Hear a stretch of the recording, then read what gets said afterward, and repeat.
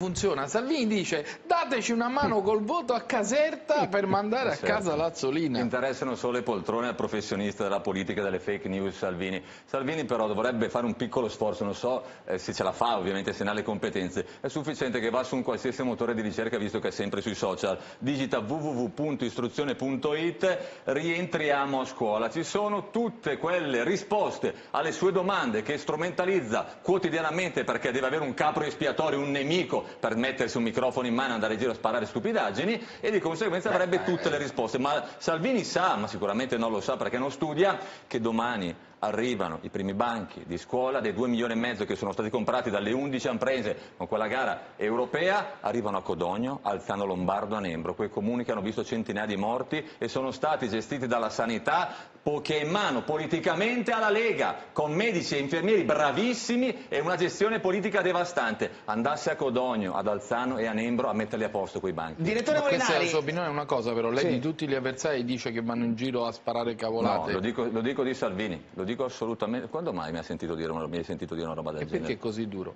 Ma non sono duro perché vedo i fatti, perché so che cosa significa fare il ministro, so che cosa significa prendere de- delle decisioni, so cosa significa con un livelli amministrativi frammentati, con duplicazione di poteri complessi nella gestione politica e governativa di un paese, trovare delle soluzioni e so quanto è più facile invece andare in giro. È facilissimo andare quello in però giro. è la Lei politica non della l'ha mai campagna fatto, elettorale. Eh, lei ma non l'ha mai fatto andare in giro a dire di quelli Ma- che governavano prima sono degli No, in incapaci. questi termini Eh, no, eh, quel eh, signore lo faceva anche quando ero ministro, di cosa stiamo parlando, lo sapete meglio Beh, di me però ragazzi.